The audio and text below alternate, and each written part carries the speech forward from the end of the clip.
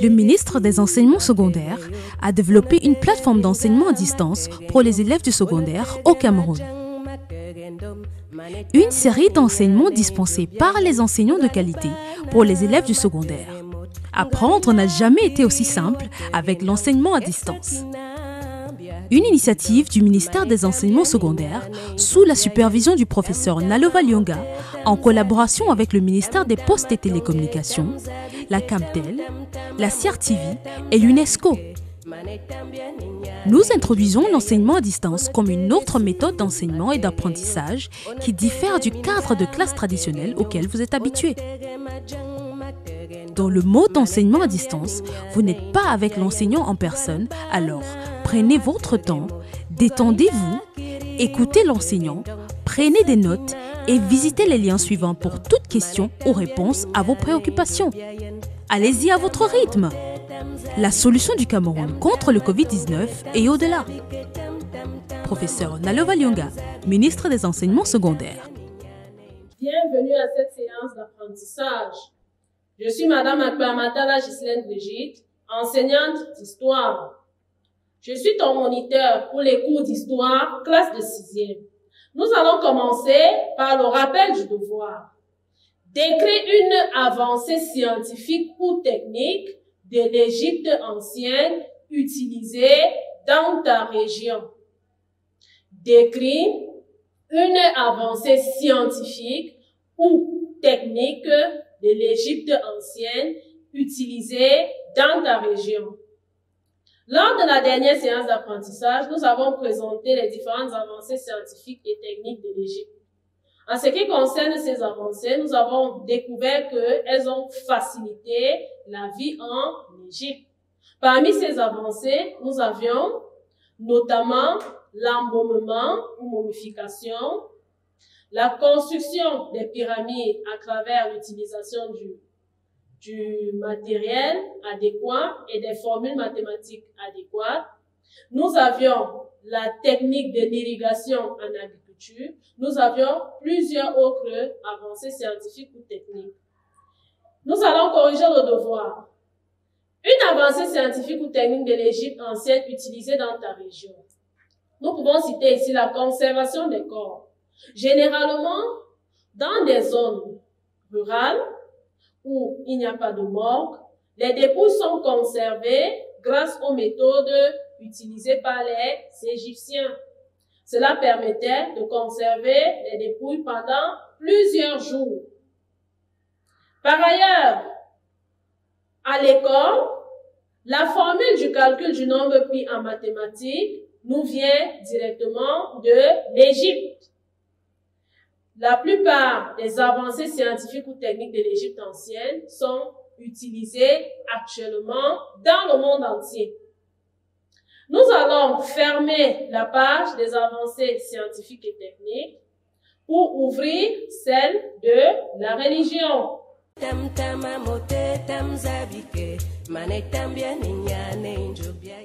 Leçon 14. La religion de l'Égypte ancienne. Cette leçon repose sur le plan ci-après. Objectif, prérequis, justification, activité d'apprentissage, évaluation, devoir. Notre plan repose donc sur six principales articulations. Nous allons débuter par les objectifs. À la fin de la leçon portant sur la religion de l'Égypte ancienne, tu dois être capable de décrire le polythéisme en Égypte ancienne, décrire le rôle des prêtres en Égypte ancienne, donner l'importance de la religion dans la vie quotidienne du peuple égyptien. Nous allons à présent passer aux prérequis. Les prérequis ici sont la structure sociale en Égypte. Lors de la leçon sur l'Égypte en nous avons présenté la hiérarchie sociale en Égypte. Au sommet, nous avions les nobles. À la tête des nobles, nous avions le pharaon. Après le pharaon, nous avions le vizir, son premier ministre. Ensuite, venait le clergé, puis les scribes. Donc, en Égypte, la structure sociale était hiérarchisée. Justification. Écoute attentivement la situation, problème ci-après. Ton cousin, pasteur d'une église de réveil, ne fréquente plus les membres de sa famille biologique à cause de leurs divergences religieuses. Ton cousin, pasteur d'une église de réveil, ne fréquente plus les membres de sa famille biologique à cause de leurs divergences religieuses. Identifie le problème dans la situation énoncée. Le problème dans la situation énoncée est les conflits dus aux divergences religieuses. Propose des actions pour résoudre ce problème respecter et accepter les autres religions. Formulation de la justification. Cette leçon te permet de décrire le polythéisme, le rôle des prêtres et l'importance de la religion en Égypte ancienne afin de découvrir des traits culturels. Passons à présent aux activités d'apprentissage. Durant ces activités d'apprentissage, nous allons subdiviser notre travail en plusieurs rubriques. La première partie ici consiste à présenter une religion polythéiste. Documents te seront présentés. Ici, nous allons présenter uniquement le document 1. Il faudra le lire, puis répondre aux questions de la consigne. Document 1. Définition. Lisons ensemble le document 1. Religion. Non féminin. Culte que l'on rend à la divinité. Doctrine. Pratique constituant le rapport de l'homme avec la divinité. Cette définition nous vient des cramis dictionnaires et recueils de correspondance. Lis attentivement le document 1. Document 2. Une diversité de Dieu. Lisons ensemble le document 2. Les Égyptiens sont polythéistes car ils adorent plusieurs dieux. Chaque localité a les siens mais quelques-uns sont plus célèbres et sont adorés dans tout le pays. Ces dieux ont des formes étranges. Certains ont des apparences humaines, d'autres ont un aspect animal ou portent une tête d'animal sur un corps humain. La source de ce document est Benda JP et autres, Histoire 6e, 5e, Yaoundé Afrique 2018, page 38. Lis attentivement le document 2. Passons à présent au document 3. Observe attentivement le document 3. Ce document a pour titre Quelques dieux égyptiens. Nous avons dans ce document six dieux. Nous avons dans cette rubrique les dieux ici en haut. Plus bas, nous avons la symbolique de chacun de ces dieux. Le premier ici, qui a une tête d'animal, mais une apparence humaine, porte le nom d'Amon. Dans certains documents, vous pourrez voir qu'il s'appelle Amon-Ré. Il s'agit du même Dieu. C'est le Dieu du soleil. Le Dieu suivant a une apparence totalement humaine. C'est la déesse Osiris, déesse de la végétation, arborant le vêtement blanc des morts. Le dieu suivant a également une apparence humaine. C'est le dieu Hathor, représentant la fertilité. Ensuite, nous avons la déesse Isis, symbolisant la maternité. Elle a également une apparence humaine. Puis nous avons le dieu Horus, qui symbolise la guerre. Il arbore la couronne du pharaon.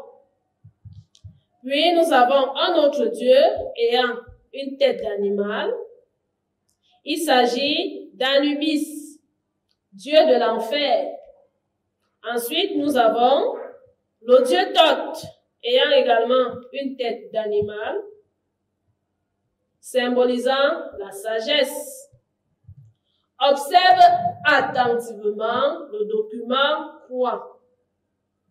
Il est extrait de l'ouvrage Le Kalenek, Sophie et autres, Histoire sixième de la préhistoire au sixième siècle, Paris Atier, 1994, page 79. Consigne. Donne la nature et l'idée générale des documents 1, 2 et quoi? Deuxième consigne. Définir religion et polythéisme. Troisième consigne, relève les deux formes des dieux égyptiens. Quatrième consigne, cite croix dieu égyptien ayant une apparence humaine. Dernière consigne, décrit trois dieux égyptiens portant une tête d'animal. Relève les différentes consignes. Première consigne, donne la nature et l'idée générale des documents 1, 2 et croix. Deuxième consigne, définir religion et polythéisme. Troisième consigne, relève les deux formes des dieux égyptiens. Quatrième consigne, cite trois dieux égyptiens ayant une apparence humaine. Cinquième consigne, décrit trois dieux égyptiens portant une tête d'animal. Nous allons apporter des éléments de réponse à ces consignes. Première consigne, dans la nature et l'idée générale des documents 1, 2 et quoi. Document 1, nous le voyons à nouveau à l'écran. La nature de ce document est qu'il est un texte son idée générale est qu'il porte sur la définition du mot religion. Le document 2 que nous voyons à nouveau à l'écran est également un texte avec pour idée générale une diversité de dieux. Le document 3 est une image avec pour idée générale quelques dieux égyptiens. Passons à la deuxième consigne, définir religion. Nous ferons à nouveau appel au document 1. D'après le document 1, la religion est un nom féminin renvoyant au culte que l'on rend à la divinité. La religion est également une doctrine consistant à des pratiques constituant le rapport de l'homme avec la divinité. Passons à la consigne suivante. Définir polythéisme. Nous allons faire appel au document 1. D'après le document 1, le polythéisme est le fait d'adorer plusieurs dieux. Et les Égyptiens étaient polythéistes car ils adoraient plusieurs dieux. D'ailleurs, le document 1 nous révèle que chaque localité avait ses propres dieux. Troisième consigne, relève les deux formes des dieux égyptiens. Nous allons relever dans le document 1 Le texte en grand nous révèle que les dieux égyptiens avaient deux formes principales. Certains avaient une apparence humaine, d'autres avaient une apparence animale ou alors portaient juste une tête d'animal sur un corps humain. Quatrième consigne, cite deux dieux égyptiens ayant une apparence humaine. Nous avons Osiris, Osiris qui a une apparence humaine. Nous avons également Hathor, Hathor qui a également une apparence humaine. Et enfin, nous avons Isis, qui a également une apparence humaine. Décrit trois dieux égyptiens portant une tête d'animal. Observons à nouveau le document courant. Le document courant nous révèle que Horus porte une tête d'animal. Horus, dieu de la guerre, a une tête d'animal. Par ailleurs, Anubis, dieu de l'enfer, a également porte une tête d'animal. Puis, nous avons également le dieu Thoth, qui porte également une tête d'animal. Résumé.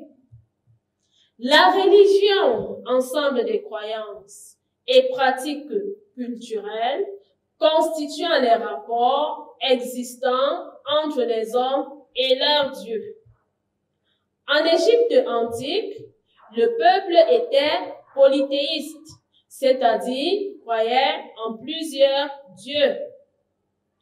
Ces dieux ayant des apparences soit humaines, soit animales, étaient Amon-Ré du soleil, Osiris, dieu de la végétation, Hathor, dieu de la fertilité, Isis, déesse de la maternité, Horus, dieu de la guerre, Anubis, dieu de l'enfer, Thoth, dieu de la sagesse. Nous allons à présent passer à l'évaluation formative.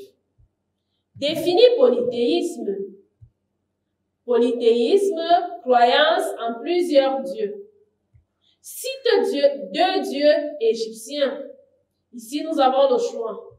Nous pouvons citer Amon-Ré, soleil, Osiris, Hathor, Isis, Horus, Anubis ou encore Thoth. Nous allons passer à la deuxième séquence de notre séance d'apprentissage. Cette deuxième partie a pour titre le rôle des prêtres et l'importance de la religion dans la vie quotidienne. Document 4.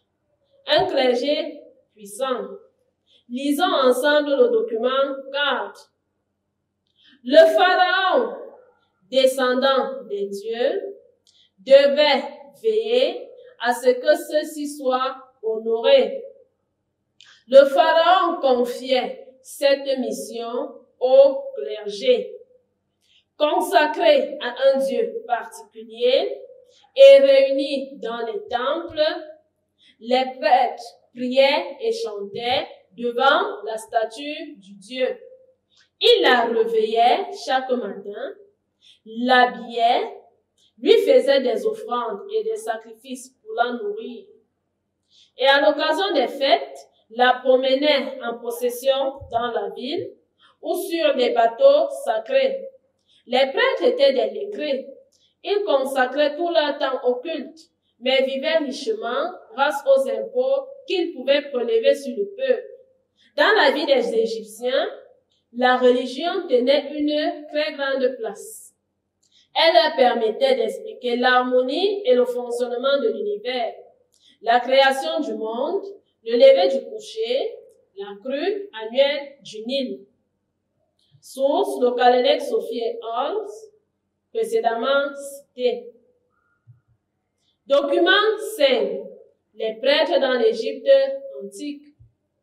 Observe attentivement le document 5. Le document 5 a pour titre Les prêtres dans l'Égypte antique. Nous avons ici un prêtre vêtu d'un pagne noué autour de la taille, présentant des offrandes à un Dieu ici, également vêtu d'un pagne. Vous avez ces offrandes entre les mains du prêtre et d'autres posées sur la table. Cette image nous vient de Anonyme, les prêtres dans l'Égypte antique, in papilloncommunication.fr, consulté le samedi 12 février 2022 à 11h. Consigne. Donne la nature et l'idée générale des documents 4 et 5. Nomme les deux personnalités responsables de la religion en Égypte antique. Relève les différentes fonctions d'un prêtre en Égypte antique, décrit le mode de vie de ces prêtres, donne l'importance de la religion en Égypte antique, relève donc les différentes consignes. Nous allons ensemble y apporter des éléments de réponse. Solution donne la nature et l'idée générale des documents 4 et 5. Document 4, un clergé puissant.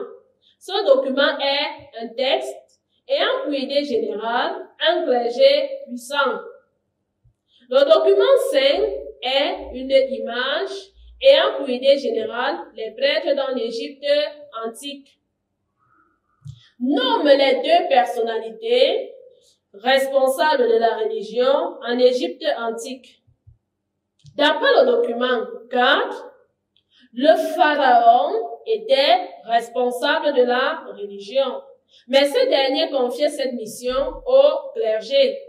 Le clergé ainsi peut être défini comme l'ensemble des prêtres. Donc, les deux personnalités responsables de la religion en Égypte étaient le pharaon et les prêtres. Relève les différentes fonctions d'un prêtre en Égypte antique. D'après le document 4, les prêtres étaient chacun consacrés à un Dieu particulier. Ceux-ci étaient réunis dans les temples. Leur fonction était de prier, de chanter devant la statue du Dieu. Ils la réveillaient chaque matin, l'habillaient lui faisait des offrandes, des sacrifices, la promenait dans la ville. Vous comprenez donc que les dieux étaient véritablement adorés. Décrit le mode de vie de ces prêtres. D'après le document 4, les prêtres étaient des décrets qui consacraient tout leur temps au culte mais vivaient richement grâce aux impôts qu'ils pouvaient prélever sur le peuple. En réalité, les prêtres étaient des personnes choisies dès l'enfance. Dans certains ouvrages, ils étaient pris dès la petite enfance. Ils passaient toute leur adolescence comme chef de l'écurie du roi. Puis, après l'adolescence, ceux-ci passaient au grade de prêtre purificateur. Après prêtre purificateur, ils devenaient prêtre serviteur pendant 15 ans.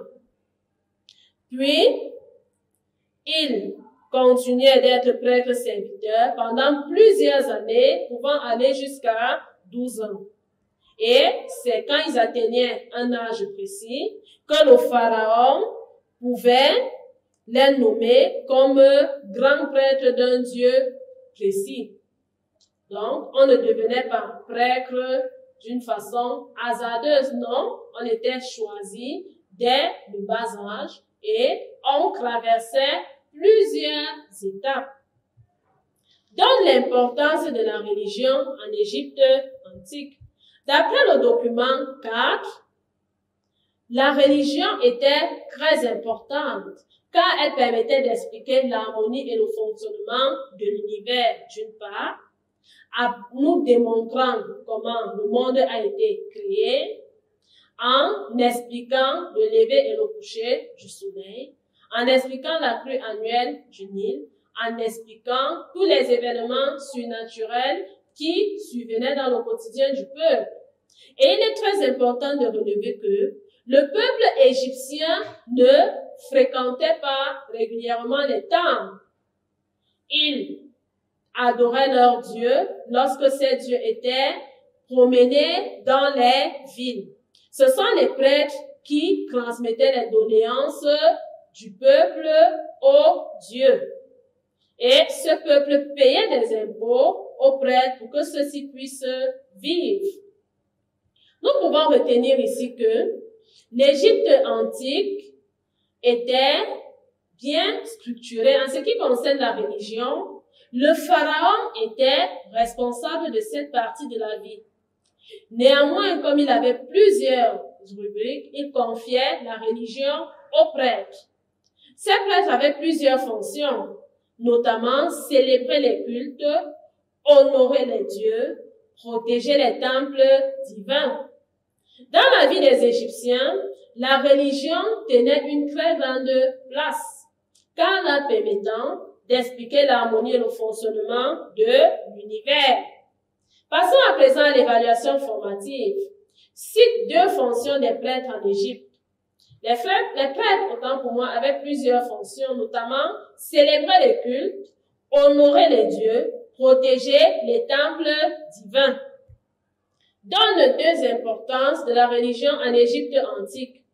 Importance de la religion, expliquer l'harmonie de l'univers, expliquer également le fonctionnement de l'univers. Passons à présent à l'évaluation finale. Définir polythéisme. Polythéisme égale croyance en plusieurs dieux. Cite deux dieux égyptiens. On pouvait citer Amon-Ré, Osiris, Hathor, Isis, Horus, Anubis, Thoth. Cite deux fonctions des prêtres en Égypte. Parmi les fonctions des prêtres, on pouvait citer célébrer les cultes, honorer les dieux, protéger les temples divins.